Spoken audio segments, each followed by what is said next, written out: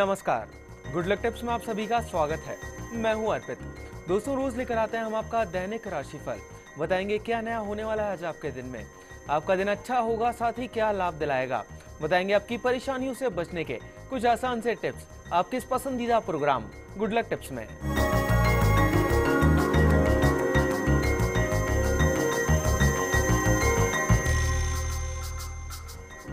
दर्शकों, क्या करना है आपको आज के दिन को सफल बनाने के लिए? साथ ही क्या कहता है आज का आपका राशिफल? बताने के लिए हमारे साथ हमारे स्टूडियो में मौजूद हैं। जाने माने ज्योतिष आचार्य पंडित मुकेश शास्त्री जी। पंडित जी आपका बहुत बहुत स्वागत है हमारे स्टूडियो में। जय श्री कृष्णा जय माता की जय Shri Hari. Very good morning तो दर्शकों आप भी जान सकते हैं पंडित जी से अपनी परेशानियों और मुश्किलों से निकलने का हल। बस कुछ आसान से उपायों के साथ। बस आपको हमें कॉल करना है। हमारा नंबर लगातार आपकी टीवी स्क्रीन पर फ्लैश हो रहा है। कॉल करने के साथ बस आपको हमें अपना नाम जन्म की तारीख जन्म का समय और जन्म का स्थान बताना है। तो देर किस बात की उठाइए अपना फ़ोन और कर दीजिए हमें कॉल। चलिए उससे पहले जान लेते हैं आपका राशिफल।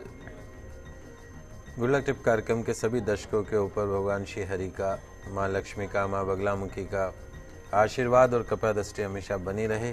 आप सभी का कल्याण हो।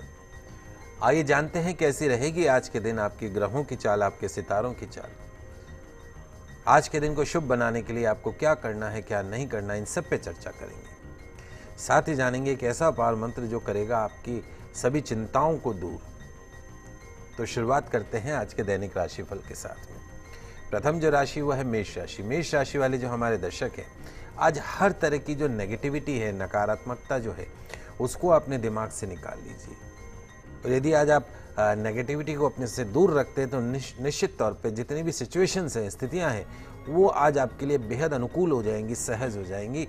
और आप आज सामने वाले अवसरों का भरपूर लाभ उठा सकेंगे। इसलिए खुद पे भरोसा करिएगा।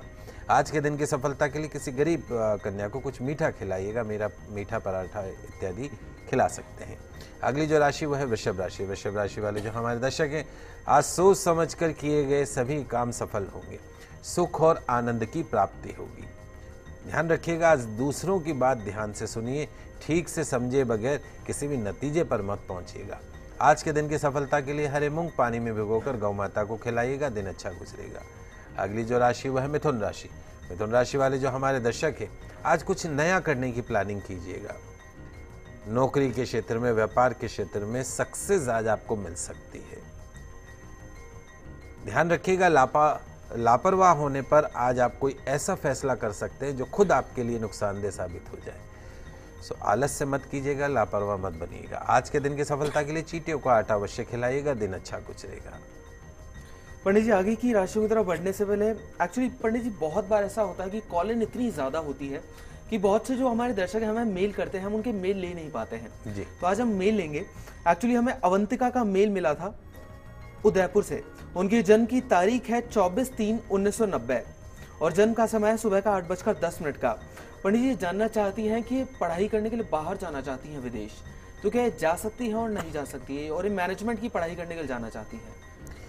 देखिए बेटा, अवंतिका, आपकी जन्म कुंडली में कुछ चीज़ें बहुत अच्छी हैं। जो अच्छी हैं वो मैं बता देता हूँ आपको। मंगल आपकी जन्म कुंडली में उच्च का होकर बैठा है। ये इंडिकेट करता है कि आप करियर में बहुत सफलता हासिल कर सकती हैं। समस्या क्या है आपकी जन्म कुंडली में? आपकी कैरियर हाउस से कालसब दोष बना हुआ है। सब दोष होने के कारण आपके कैरियर में कहीं ना कहीं वो स्टेबिलिटी आपको नहीं मिलती जो आप डिजर्व करती हैं। उसके साथ में चार ग्रह एक साथ में कैरियर हाउस में बैठे हैं, मंगल, शनि, राहु और शुक्र। राहु मंगल जब साथ हो जाता है तो अंगारा के योग बन जाता है। ये इंडिकेट करता है कि या तो कैरियर में बिल्कुल हाइप आप ले लोगी या बिल्कुल ज़ीरो सिफर हो जाओगी। मंगल शनि की हार्डनेस साथ में वहाँ पर है। तो दो उपाय आप कर लीजिए। पहला उपाय तो ये है कि आपको कालसप दोष की पूजा करवानी है। दूसरा उपाय आपको जो करना है वो मंगल शनि की शांति करवानी है खेजड़ी के पेड़ के नीचे या खेजड़ी पेड़ के दंड के साथ में। यदि आप जीवन में एक सफल इंसान बनना चाहती हैं, आप चाहती हैं कि सफलताएँ आपके कदमों को चूमें तो मंगल शनि की शांति और सब दोष की पूजा अवश्य करवा लीजिएगा। तीसरी जो समस्या है, वो आपके भाग्य जो आपका बुध है जन्म कुंडली में, वो नीच का है। बुधवार के दिन एक बार अपने वज़न के बराबर गुड़ का दान करवा दीजिए। निश्चित तौर पे अगले वर्ष सन 2018 17 के अंदर आपके बाहर जाके पढ़ने के योग बनते हैं। इसमें कोई दोराय नहीं, बाहर आपकी स्टडीज़ भी होगी और आने वाला समय जो है 2017 18 19 आपकी लाइफ का टर्निंग ईयर साबित हो सकता है। तो अवंतिका जी, पंडित जी द्वारा बताया गया आसान से उपाय कीजिएगा, ज़रूर से आपको फ़ायदा मिलेगा। पंडित जी, हमें एक और मेल प्राप्त हुआ था, शुभम जी का जयपुर से। उनकी जन्म की तारीख है बारह दो उन्नीस और उनके जन्म का समय है रात का नौ बजकर चालीस मिनट का। पंडित जी एक्चुअली जानना चाहते थे कि जब भी कोई काम करते हैं, हमेशा व्यवधान आते हैं। कभी भी उनका, इनका कोई जो काम है, बिल्कुल सरलता से और आसानी से बनता नहीं है।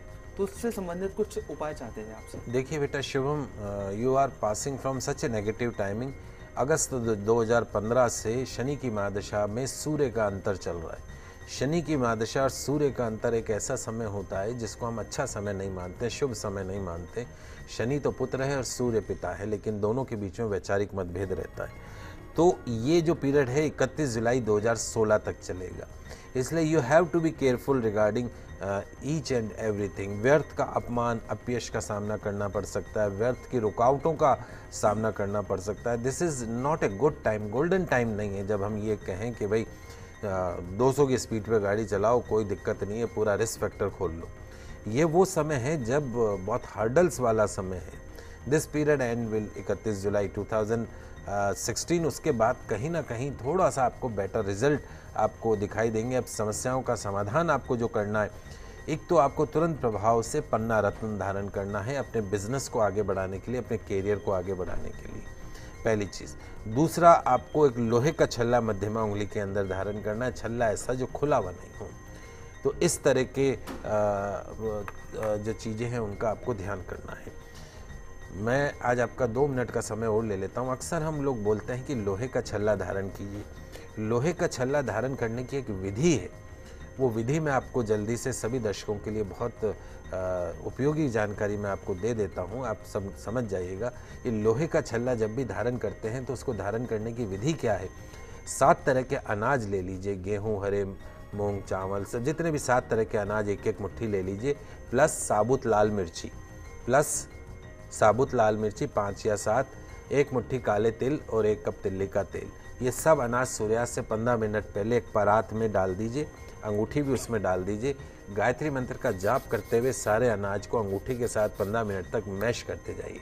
पंद्रह मिनट बाद में उस अंगूठी को निकाल के अगरबत्ती की धूप लगा के मध्यमा उंगली में धारण कर लीजिए और वो जो अनाज है उसको एक काले कपड़े में बाँध के शनि मंदिर में छोड़ाइए इस सौ रुपये की अंगूठी जो है वो उसके आगे एक करोड़ का नीलम भी फेल हो जाता है। ये तरीका है तो ये सब आप दर्शक जो हैं, इस तरीके से, इस विधि से भविष्य में अंगूठी को पहनेगा तो निश्चित तौर पे आपको फ़ायदा होगा। पंडित जी, आपका बहुत बहुत शुक्रिया। जितने भी हमारे जो दर्शक अभी आपको देख रहे होंगे, उन्हें लोहे का छल्ला धारण करने की जो सही विधि है, वो बताने के लिए।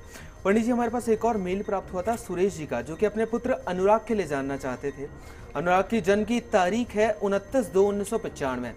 और ये जानना चाहते थे कि इनका जो पुत्र है अनुराग इसने अभी अभी सी का एग्ज़ाम दिया है।